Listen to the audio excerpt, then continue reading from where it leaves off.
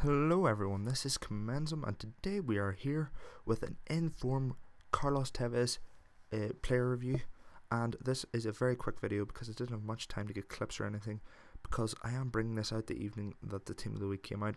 Now he did get this inform for scoring 3 goals uh, for Juventus at the weekend. So it's very worthwhile. Team of the week 87 rated. And yeah let's get into some of the stats. Now, some of the stats in this card are absolutely amazing, like the 91 ball control, the 95 finishing, the 92 penalties, 92 long shots, 94 shot power, 95 volleys, and 99 stamina. Uh, with 95 reactions as well and 97 aggression. So he is a pretty good player. Although I do feel that maybe his positioning and his uh, work rates aren't as good as they probably should be. His positioning says 89. I don't think it's that good. I think it's maybe probably 70s. He's very, very uh, likely to be out of position.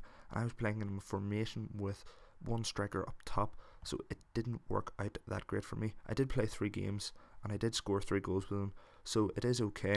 And let's jump into the goals uh, right now. So the first goal here we have a lovely through ball to Tevez, and he cuts it in onto his strong foot and puts it away in the top corner. That's the kind of finish you're expecting from him with those fantastic finishing stats. Now, the next stat here uh, is a beautiful through ball, and Tevez just running in and slotting it away nicely. Uh, now, the pass was fantastic, and the close quarters finish was really good and shows how great his finishing actually is.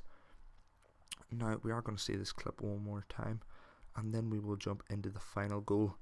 Now uh, this goal was taken from the replay because the recording messed up and yeah it's very very good use of his strength and very very good finishing from Carlos Tevez. So yeah if you have enjoyed the video this has been Comenzum.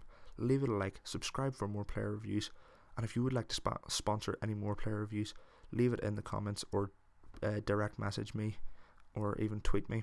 So yeah, it has been.